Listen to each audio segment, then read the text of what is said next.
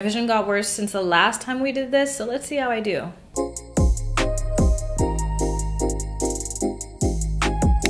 Hey loves, it's A back on your screen with another one. Today I have a Get Ready With Me blind edition for all of you who wanna know how I do my makeup every day.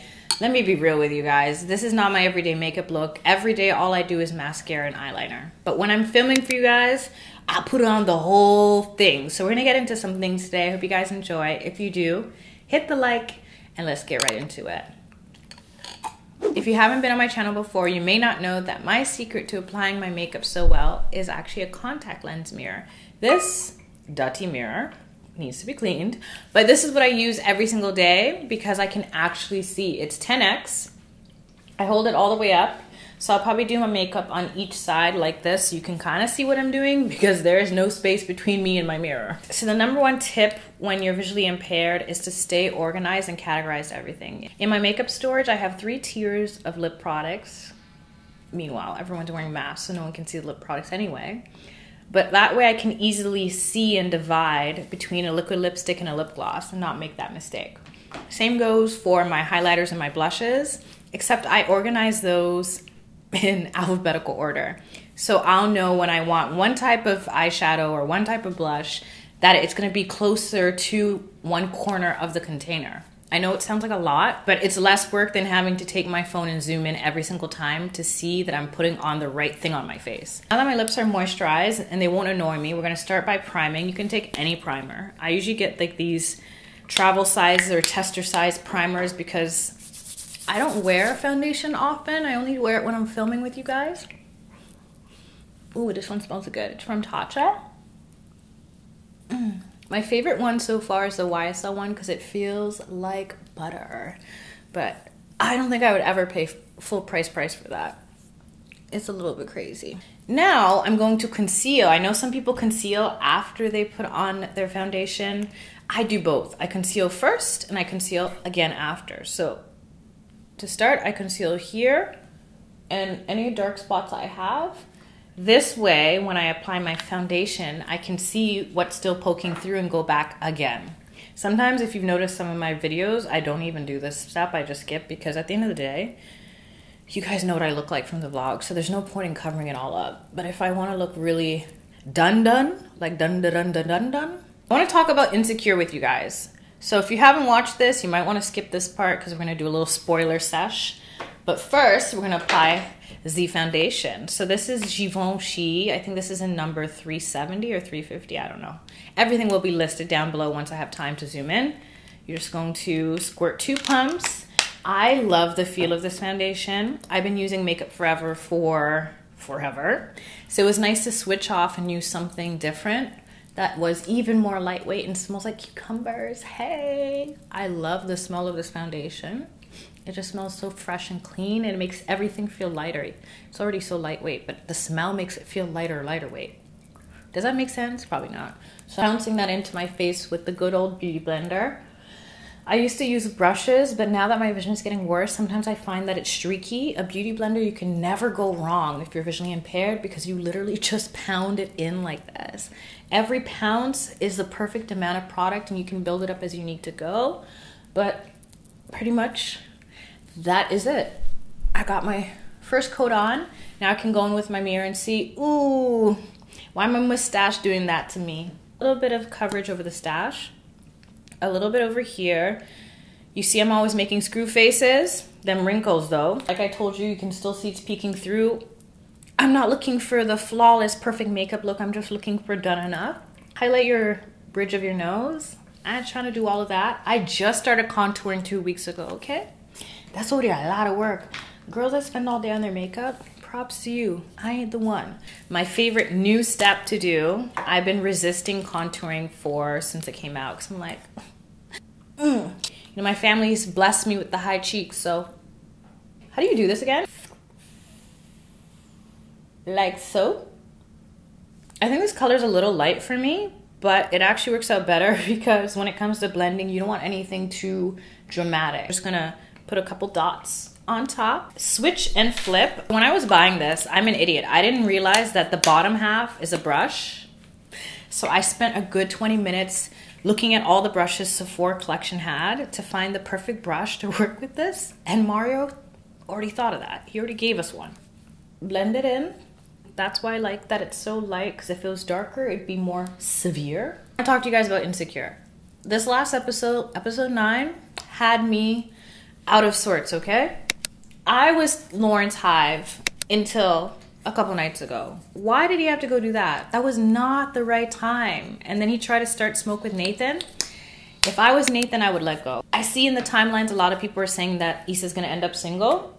Probably. I think that's what this whole series is about is her learning to love and accept herself, not chase Mandem, although Daniel was it. We need him to come back. The same way Dro came back last episode, we need Daniel. It says a lot about Lawrence that he needed his friend. I forgot his name. It starts with C the one that does the most. You know who I'm talking about. He needed him to tell him, yo, you never fought for Issa. Five seasons of our lives. And Lawrence has always just been laid back. Next up is a little bit of blush. This is NARS. It should be Luster. Yep, it's Luster because luster's barely used and Torrid I've had for years and years and years. I probably should still put that on my face. I love NARS blushes because they are really light. You could build them up. And as I said before, being visually impaired, since you can't see as well as you used to, it's easy to have a heavy hand. So at least when you're using something so light, you can kind of be like, is that right? Or nah. But see, a couple flicks of the wrist and we're good with it. This Becca highlighter, do they even make these anymore? They are my favorites. This is in the color Topaz, which is also my birthstone, Scorpio Hive, where you at? Take my highlighter brush from MAC. I've had this for years. I remember, I don't remember where I was working when I bought it, but I was like, can I afford this brush? I've never seen one like this before, but I think it'll be good for the arsenal. I'm so glad I bought it. Touch the high point of the cheekbone ever so lightly in a V shape, down the nose to kind of finish that contour although it doesn't really look like much of a contour. Underneath the brow bones, even though I have some hairs coming out, I should be highlighting that. And then I like to highlight the cupid's bow. I think it's a nice touch. Especially on a gloomy day like today when I'll be filming and the light won't be quite right, you need to add a little accent and a little bit of dimension back to your face. Start talking more about Insecure. We're gonna start doing our eyes. I love another Mario product. This is his, I don't know what to call it, but it's an eyeliner pencil and it has a brush on the other side. I'll show you. So I angle my brushes like this. I know it looks a little weird, but this way I can feel what I'm doing versus see it. Because even though this is 10x, my vision has gotten so bad so bad that I can't even really tell. And sometimes I'm sure you can tell that my eyeliner is not matching in the videos. So I'm basically tracing the underside of my eye and allowing the feeling to guide me along the way. See? And then with this, I know you're not supposed to pull because wrinkles galore, but I do it anyway because if I don't, mess galore. So this one we're gonna do the other way around lower lash line first. I don't know why I always do the left side opposite. And then kind of pointing up and under the lash line. Want to drag it out? Mario thought of that. He created a little brush. So if you can't see like me, all you gotta do is flip it and reverse it. Just pull it back, pull it back. And look, you got a swoop like that. I couldn't even see what I was doing, but I could feel it. I'm telling you. Mario is a master. So you're just gonna drag it, and like so, you got a little cat eye, little wing liner situation going on. You could always, of course, do it the normal way like this, but mm, these days, I don't fool with that. Mascara is my favorite thing. It just makes the eyes open up. You look way more alert than you probably are. It just does everything that needs to be done. We're going in with Better Than Sex because it's an oldie but a goodie. I keep coming back to this. Alternate between Pat McGrath's Dark Star and this one, they're both really, really good. It just depends on which one I feel like getting. Jeff gifted this to me and I was like, perfect. This is my ultimate mascara anyway. It does everything I need it to do and it doesn't clump, which is super important. I can't walk back from clumps. Once my eyelashes clump, it's one and done. I don't have the ability to see to declump spider lashes. So it's better it just doesn't happen. If you are visually impaired and you want to apply mascara perfectly and you can't see well, what you're going to do is Wiggle and work it up. Wiggle, work it up. Wiggle, work it up. Mind you, when you do this method, you're more likely to get some stuff on your upper lid. That's why I don't really wear eyeshadow anymore. It's just too much to have done the nice eyeshadow look and then just have a big clump of mascara and you have to wipe it all off anyways. I just keep everything simple these days. The less steps, the less mess. Trust. Angle it diagonally to get the inner lashes. You're feeling more than anything. I can't see these lashes anymore, even with this mirror this close. So I'm just going to kind of shoot up until it catches onto something. It must be the lash. One and done. Now I can kind of see because they're coated lashes on the right side and the left side for some reason. Haven't you noticed that too? That your lashes are longer on one eye than the other and they're more fuller too? Why does that happen? We need two more seasons of Insecure for the characters to truly develop. Molly's plotline isn't hitting the way that it should be. I just feel like everything got smushed in a couple episodes.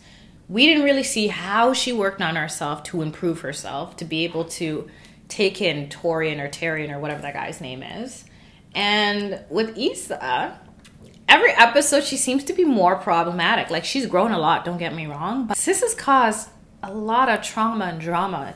I was fully expecting her to throw the baby again. I can't believe she put that scene in. Uh, brows. Okay. If you want your brows to pop and say, wow, not shock brows, but just wow brows, you're going to take Benefit Precisely My Brows.